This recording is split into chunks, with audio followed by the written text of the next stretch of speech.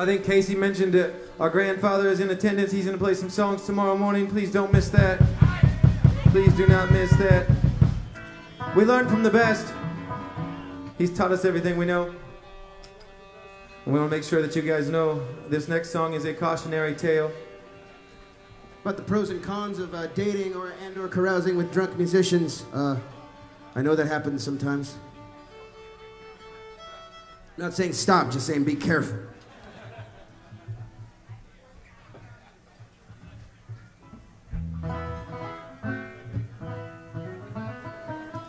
Is all for, for you poor people that gave your heart to somebody who doesn't give a shit. It's called With Them Comes Hell.